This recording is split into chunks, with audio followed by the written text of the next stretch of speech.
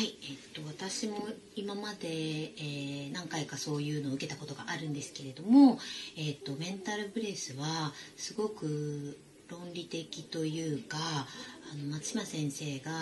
あのいつもあのこういうデータがあるよとかそういうのを織り込みながら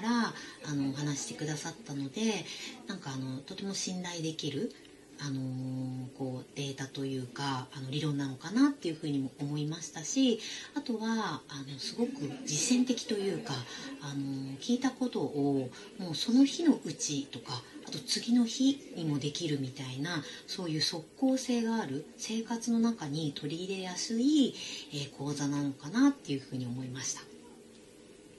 はい、えーと、印象に残ってる内容は、えーと、自分の取扱説明書を作るっていう内容です。やっぱりこう自分のことを振り返るきっかけにもなりましたしなんか特に自分の強みっていうのを改めて自分でこう分かって、えー、こう分かることでなんかあの自分の仕事とかあとやっぱプライベートでも活かせそうだなと思って自分の取扱説明書を作るっていうことはなんか自分にとってのお守りが一つ増えることなのかなと思いました。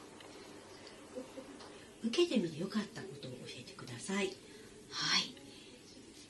受けてみてよかったことは、えーと、自分が快こう嬉しいとかっていう快な気持ちでいることが他者にとっても快になる、まあ嬉しいことになるっていうのを知って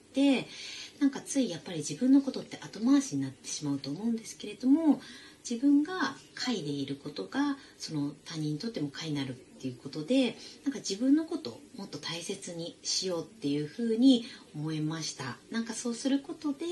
こう何て言うかな職場の平和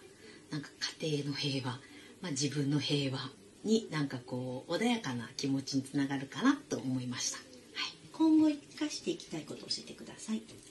はい、えー、今後生かしていきたいことはあのやっぱり自分が、えーと、会になることあの楽しいなとか嬉しいなって思うことを常にアップデートしていきたいなっていうふうに思いましたぱり自分っていうのはどんどん変わっていくものなので嬉しいこととか楽しいことっていうのも変わっていくと思うんですけどでもやっぱりこう自分のその会になることを知ってつまりそれは自分を大切にすることにつながると思うのでなんかそのことをやっていきたいなっていうふうに思いました。これまで講座をそのような講座を受けたことがないんですが実際に、えっと、グループワークで他の方の意見を聞きながら、えっと、自分を見つめ直す時間だったのですごく自己理解をより深められる講座だったなと思いました、えっと、自分の快不快を改めて考えることを考える会がとても印象的でした。なんか自分自身を見つめ直すことっていうのが普段日常生活がなかったのですごくいい機会だなと思いました。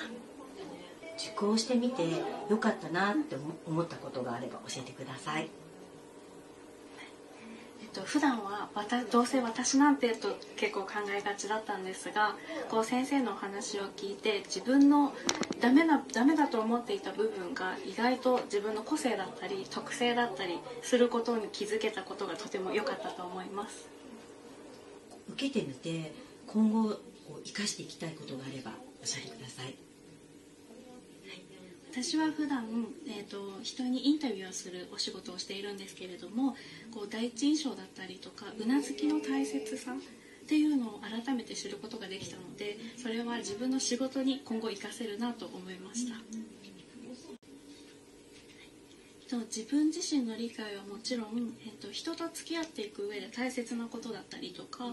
その自分の中の凝り固まってた考えがすごくあのほぐしてもらえた時間だったので、えーと、自分ってどんな人間だろうって思ったことがある人にはみんなに、えーと、おすすめしたいなとぜひ思いますし自分を好きになるための第一歩を踏み出せた気がします。私実はこの心理学系の講座を受けたことがなくてあの哲学講座はすごく興味があってコミュニティに参加したりとかしてるんですけど心理学はやっぱりこの心理学なんか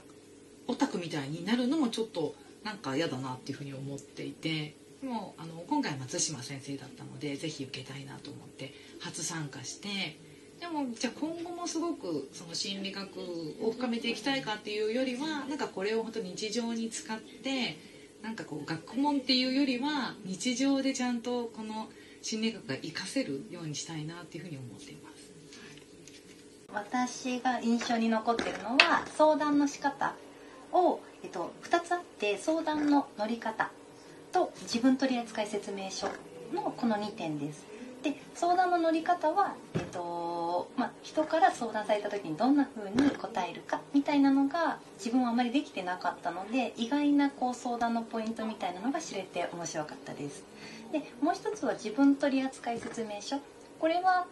自分自身が分かってると結構思っていたんですけど意外に知らない部分とかあとはこう自分との付き合い方みたいなのが明確にこう文章に起こすことで理解できて、はい、とても印象に残ってます。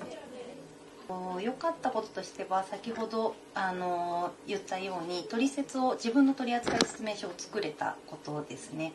自身の強みはもちろんなんですけど危険信号とか自分自身がちょっとネガティブになってる時の、えーと、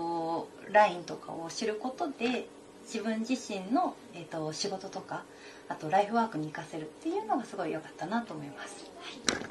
りがとうですね今後あのこの受けた内容を生かしていきたいこととかあれば教えてください。はい 私としては相談の、えーと、乗り方みたいなのは、えーと仕事の中でもやっぱりこう同僚とかあとは今一緒にお仕事をしてる学生さんとかに何かかこう相談されることがあるのでそういう時に相談の乗り方を生かしていけたらいいなと思ってます。一番のおすすめはこうみんな和気あいあいこうなんかこう先生生徒っていうよりはこう先生も生徒もこう一緒になってあとスタッフの方もすごくこうみんなこうフラットな感じでこう感想を自由に言い合いながら和気あいあい進められるっていうのが一番いいところだなと思ったのでこう本当に体系だって勉強したいっていう方もいいでしょうしあとやっぱり10回やるのでその都度そのチェックテストというかリストだったりとか診断だったりとか必ずなんかそういうものが入ってくるのでちょっと自分ではなかなかそういうのを取り寄せて受けたりする機会もないのでそういったその松島先生のお話とあとそういったその診断チェックみたいので後からこうこの講座が終わっても振り返れる10回こう振り返るとあこんな感じなんだっていうふうにいつでも振り返られるっていうのがあるのでちょっともやってる知りたいけどなんとなくどこから手つけていいか分かんないなみたいな人はあのとってもおすすめだと思います。